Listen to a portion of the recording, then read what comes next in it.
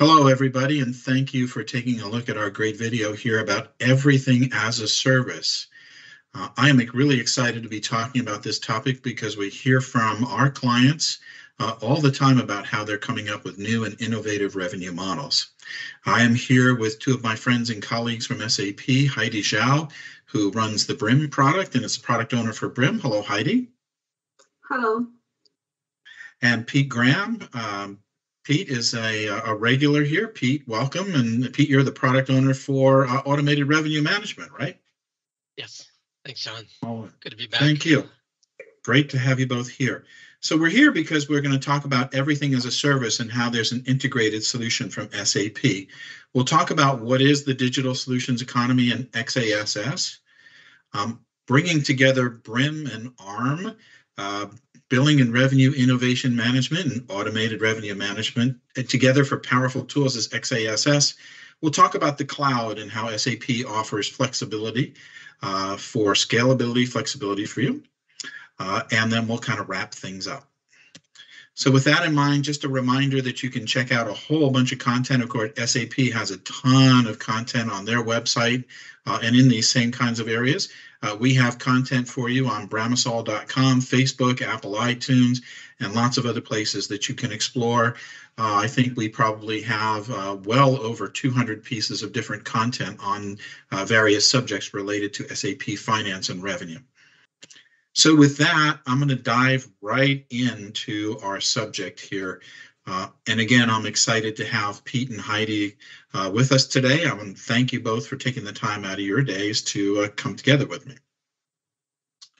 So, yeah, so let's talk about this because it's come up as a big subject and it's really the digital solutions economy. You'll hear a lot of people talk about the subscription economy. And, and we like to say that's only a small part of the picture. If you think of XaaS, anything as a service, um, only pay for what you use. Um, what are you entitled to? So the management of various entitlements. Um, if you're a gamer like me or you do music, um, those become a big deal to you. We have dynamic pricing models. Uh, Uber is a great example of that, but airlines, hotels, everything is offering dynamic models, outcome-based models, usage and consumption and revenue sharing. And it's really across the board um, that we see this. It was regardless of industry, um, company type. And so I'm going to take a section, a, a, a, pause for a second and ask um, Heidi, from your perspective on the billing, revenue, and innovation management, you face a lot of customers. What are you seeing out there as they're moving to XaaS, and what does that mean? Um, John, so SAP Billing and Revenue Innovation Management was uh, developed since 2009. And back then, there was a few customers, like you said, this transfer to everything as a service. In the 2020, the McKinsey's uh, survey says over 60% cross industries and company have selling end-to-end solution as a service. So the trend is non-stoppable. So this is a must go directions. And we see, as you said, this is all industries across the board, especially for brand customers. You name it, from the you, you mentioned here from automotive, from Porsche, BMW, Toyotas, and uh, Pyrothon from the equipment, and the high tech is really leading in the media's like Disney Plus and all the kind of services. So everybody is moving this direction. However, not everybody knows how quickly to adopt the new pricing, as you mentioned, the agile pricing and how change their business model. So this is really lots of business challenge here with the customer we have. So brands really help them to transform their business models either step by step the uh, transforming slowly or just one step completely mm-hmm. flipping to the other directions Absolutely. No, that yeah, and our experience very similar to that with you is, you know, all the companies changing up front. Uh, you know, I found it interesting that you mentioned Porsche.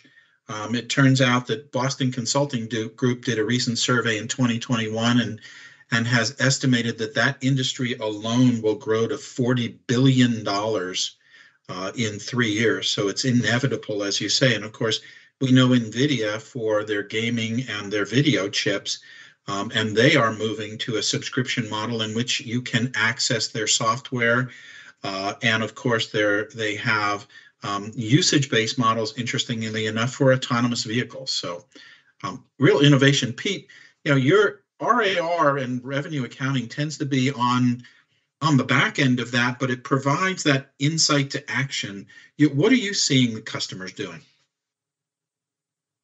Um, John, we're seeing customers um, try to solve obviously their automated revenue management challenge, um, but it, it's getting more complex, right? And so we're seeing customers basically they may have already solved it with our tool, but they're now adding new business models or they're adding mm-hmm. new divisions or they're acquiring new companies, right? So we're kind of seeing this ever changing, you know, um, goal of these customers to keep up with the business, right? And that's kind of what we're seeing. We're seeing this this very dynamic situation where things have moved very quickly in the business model and rev rec space in the sense of new new cases or new scenarios that customers need to handle. Uh, and so, you know, these customers are, are trying to keep up with all that. And I'm constantly getting, um, you know, customer conversations on this. Absolutely. Yeah. So, you know, and as we work with both of you and we see that same, same thing. So, you know, what we're, we're really, you know, interested to see is this idea, as Heidi, you mentioned, that customers are really looking for a, a model that supports them the way they want to do business. And it doesn't matter whether it's B2C. I think traditionally we think of this customer driven model or subscription models as a B2C model. But if you imagine a in a B2B model, a business to business model, uh, or business to business to consumer, but business to business, this is true too. Um, we see so many, as I mentioned, NVIDIA, but we have customers who are in the uh, pharmaceutical industry, the life sciences industry, um, all kinds of different industries, you know, adapting and using these kinds of models. And it allows this, this, the way we've kind of structured this is it's different ways for customers to approach uh, the challenge if they're looking at customer engagement as the first step. How do I do that? Um, or you know how might I use a tool like Brim, um, subscription order management or solution order management to create a dynamic solution? How can I use entitlements for flexible deliveries?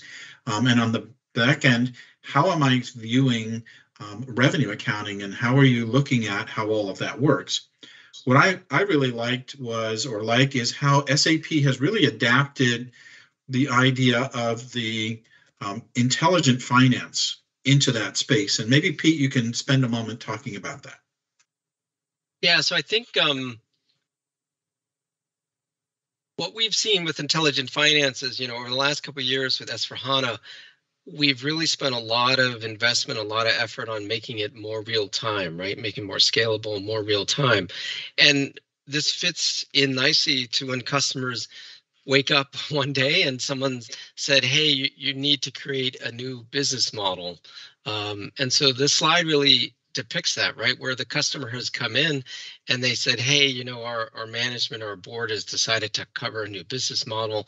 just so happens to be anything as a service. And with the whole SAP solution and working with the, especially the products, not only the core finance, but also the products that Heidi manage, you can customers can literally very quickly go through this scenario where you take the initial order, you can set up the first um, month's billing and the activation three, fee. You do the hardware fulfillment, then you set up the hardware billing, and maybe there's a usage component, which there often is. Maybe you're consuming data or consuming minutes or, or something else. And now you go into a cycle where there's new billing, right, each month. And so all that's being supported by the SAP Intelligent Finance Platform.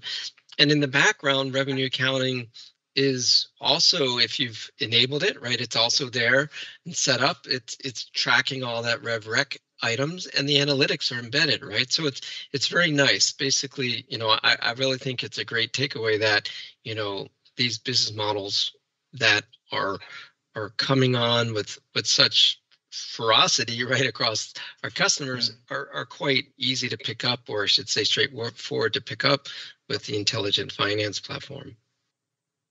Absolutely, and I think what's interesting, Heidi, and maybe you can comment, is it's you can see the BRIM in here, right? Billing and Revenue Innovation Management, right on the circle here, and we thought of it.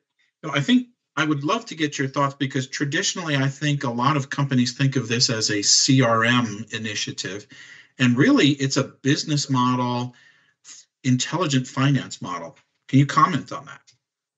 It's really so true, right? You're talking about how you guide the customer to create a different type of order, as Pete said. It's not only the deliver order, there's a one-time charge, there's hardware, and there's subscription, and there's usage based. All this contract lump sum together, and you want to have aggregated billing to the customer so the customer can have holistic view, but back end unlike the traditional you create order you deliver and the revenue recognition is purely based on deliver based on invoicing.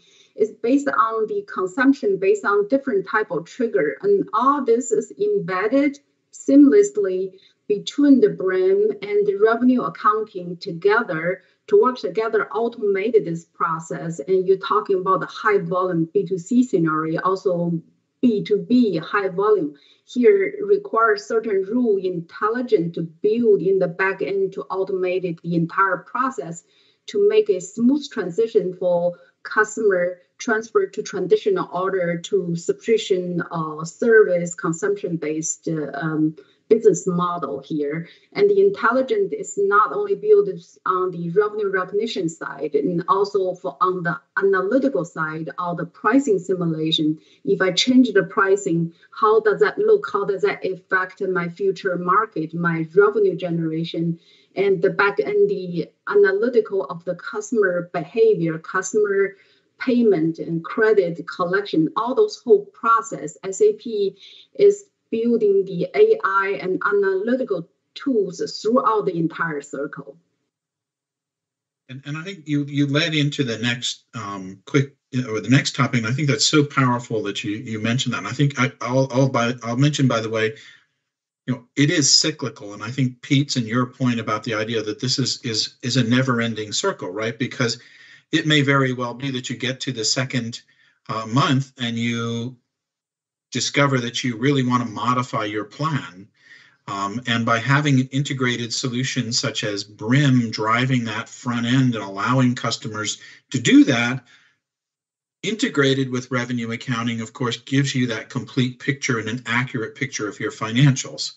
Um, and so, you know, I believe, you know, and we've seen that many of the world's leading companies moving in this direction really are taking advantage of Brim and ARM um, together, um, allowing you to, to gain these. And I'll, I'll, I'll ask you to talk about those, but maybe, you know, Heidi, you can talk for a moment about that integration. You mentioned that whole integration um, between BRIM, the GL, RAR, um, and, and how are you seeing people take advantage of that?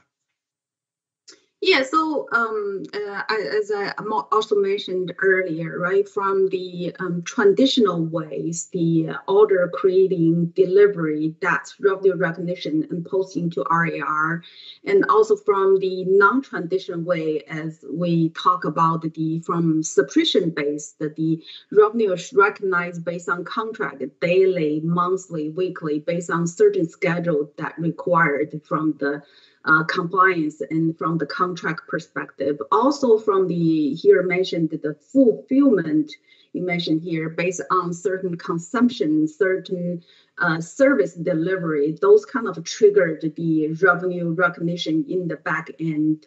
And the RAR is uh, smart enough to build all those kind of rules to recognize the the signals and also the postings from BRIM and posting the correct the revenue recognition and finally delivered to general ledger. Right.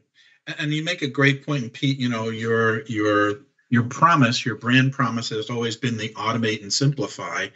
Um, maybe you can can can talk about how this integrated process or this integrated uh, platform is so powerful around that brand promise of automation and simplification because you if you really think about it in this digital solutions economy it's anything but simple um, it's it can be highly complex as you think of people having usage-based models and the principle of the fourth step of the model talking about allocations based on a standalone selling price. Well, what is that based in in you know if it's a usage or consumption model? And and the ability of brim and rar to come together is so powerful right? Yeah i really think it's extension of the automation right? I mean we've we've had customers i think for over five years i think we've introduced the the brim and and the um, integration to arm slash rar um, and you know they've their challenges has remained consistent in the sense that they have an ever-changing market and they want to adapt quickly. So they have, you know, the billing and revenue innovation management tool that helps them with that. But then they also want to see the flip side, which is what will it really mean if we're able to achieve these marketing results, right? And so that's where the integration into the RevRec piece helps. And they can literally, some customers have run these scenarios where they, you know, look at the real RevRec results, right? And so um, it's really extending, right? So it's you know this combination now of you've got two two tools and now they're combined and you've got more flexibility with the you know the end outcomes, right? In terms of scenarios or real world business. Either way, you can look at the real RevRec picture. And and that that that integration is so crucial as you know we talk to we work with our customers as well around you know a, a master data and the general ledger itself and the accounts. And, and when you have solutions that are not integrated with this, you have to ask whether they're spending an undue amount of time um, reconciling and and um, looking at manual workarounds and things. And I think that that's a huge, powerful solution uh, for that. So with that in mind, of course, we always think of SAP um, as a powerful solution. It's got a tremendous tradition over the years, and everybody looks at it. But it's also you guys are a tremendous innovator, and innovation today is all about the cloud. Um, and really, you know, for SAP, it's about how we're driving or you're driving um, XaaS in the cloud with flexibility and scalability, but you're giving customers choice. Um, and maybe you know you can comment a moment. Um, you know, Heidi, you can we can start with with the Brim side of the equation. Then we'll talk about automated revenue management. Um, but we give customers a choice, and w- what do we mean by that? I think the general strategy is cloud first, right? So we give customer a co- choice of public cloud, private cloud, and hybrid cloud. And mm-hmm the public cloud, of course, the single coding is easy to implement, it's quick and agile, but then that's also very simple, so it doesn't give the large customer flexibility and customization choices. And also for um, the for that reason, we also provided the private cloud for customer, like we own the largest customer in the world, right? So they cannot do one step moving to the public cloud. We also give them the private cloud uh, choices. So they have the cloud flexibility. On the other side, they also have their own customized solutions there and to do the um, next step, step by step, moving to the public cloud goals there. So um, I think this flexibility is important. It really depends on customer, their current plan, their future plan, and their size and their their volume there. So um, I think SAP had very smart choice to give customer their own choices to choose here. Right, and and and so much so on the front end. I mean, some of the world's largest companies, and we can can talk all about them, but you know they offer all kinds of different upfront systems that are their proprietary systems um, or other solutions. And BRIM and automated revenue management, RAR, are um, adaptable that way. Um, I think, you know, Pete, when I think of automated revenue management and all the questions we get, you know, can I integrate this with the cloud? Um, can I integrate with some of my point solutions, quote unquote, of course, absolutely you can. It's more powerful when you have SAP, but of course you can integrate it non-SAP. And and what choices, you know, how do how does how does the automated revenue management enable that choice as well. Well, I, you know, the automated revenue management um, portfolio is meant to cover a wide spectrum of of Mhm. um, requirements, right? We've got customers that are running a couple dozen of contracts a month to millions and millions of contracts a month, right? So eh, there's huge spectrum, and so we really kind of have a choice that's fairly flexible for customers to choose the best option for them. And that also includes the best cloud option for them. Yeah, and, and I love that, that, you know, Heidi, you set it up so well with the idea of it's, could be public cloud, private cloud, or hybrid. You know, we're here to give customers a choice. All right, well, thank you so much for your time. I want a couple of quick takeaways. Maybe Pete, um, I'll ask you to kind of, you know, your takeaway was this robust business model. Um, Yeah, what I should customers and people think of? well, I- I think you need to think about things holistically, right? And so that's where SAP Finance, Intelligent Finance, really has, you know, that's the way we think. We think end to end. We think real time, um, and that helps when customers have things like new business models, like anything as a service. So, you know, our platform allows customers to quickly adopt um, those new service um, offerings. And Heidi, you talked about flexibility that, that came out several times. We want to kind of what, what what should a client, somebody listening to this, walk away with from flexibility from your perspective? So the everything as a service, typically we offer end-to-end integrated from front to back office solution. But think about flexibility. If you are not ready one step, one step there, or you want create everything as a service as a sidecar, you can also implement one module at a time and then integrate it back to your existing landscape you have. So you don't need to have full all in there. So you have the flexibility, like we said, hybrid versions and to test it out and to test your new business model and then analyze the profitability of it. So we have give you this choice for your complex business model to transfer step by step there. That's uh, really important. Also, we get we pave the future roadmap for you, right? Because we are capable to uh, to support the high performance for your future growth. Think about today, maybe your sidecar is only, uh, as uh, P said, it's only like a few hundred contracts, but in future you could grow millions of contracts. But we provide that kind of platform and high performance to enable you not limited your future growth as well. Absolutely. Absolutely. Well said. So, with that, I want to thank you both for uh, spending time with us, um, with me. Um, uh, hopefully, those of you who are listening to this, you got some great messages uh, out of this, and we look forward to um, you asking us more questions. Um, so please do follow up. You can check us out. SAP.com, of course, has some great uh, videos. You can come to bramasol.com. We have over, as I said, hundreds of different items to allow you to understand how to take advantage of this. So with that, I want to thank Pete and Heidi for your time. And I hope you both have a, a great day. And I look forward to uh, speaking with you again.